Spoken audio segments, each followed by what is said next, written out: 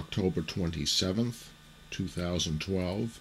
I'm about to ship out what we've been calling Ampex 351 preamp number one to my Martin Fredholm in Stockholm, Sweden. It's going to go in this custom wood box.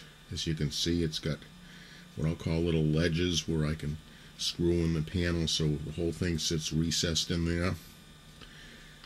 Here's the cover.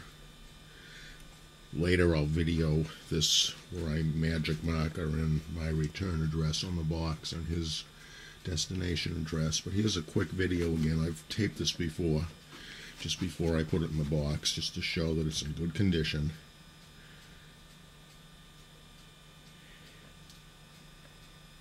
Not dented in or anything. He's going to get that power cord wrapped up inside there.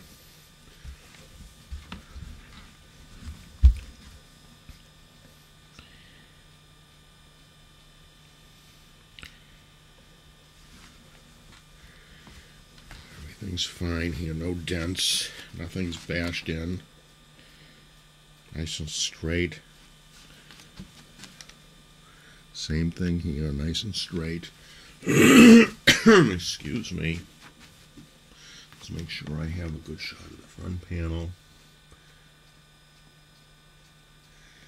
The meter is fine. knobs are all fine. the knobs are chipped. Alright. Here we'll flip it over on its top a little bit so we can see the back here. Well, I guess there is a small bend. I guess that's just the way it was. There is a small bend on that corner. It's very gradual. It Could probably be banged out. It's just the stainless steel plate. Okay. Board is laid out. It'll sit in the recess space. The hard portions of it are up at the top so they shouldn't interfere with the back of the preamp. I couldn't even feel any resistance from the power cord, so that's just sitting in some completely empty space. Screwed in now, two screws there, two screws there. It's in solidly, there's plenty of space, as you can see even the meter is well recessed from where the top cover is going to be. Next I'm going to screw on the top cover. And here is preamp number one inside of the wood box. The cover is screwed down with a number of wood screws. You can see them there, all screwed in.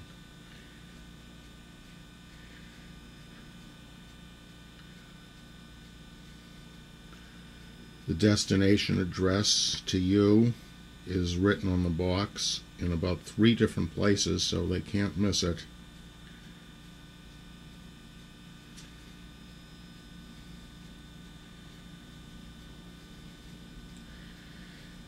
This is Monday, October 29th. There is a hurricane here now, and uh, the police don't want anybody driving. Everything is closed. So I cannot, unfortunately, ship this out at the post office today. I hope Tuesday or Wednesday everything will be open again. It's all ready to go. All I have to do is drive about two miles from my home to the post office, and this will immediately ship out. I will email you when I have shipped it. There you have it. You should be seeing it not very long from now. Preamp number one.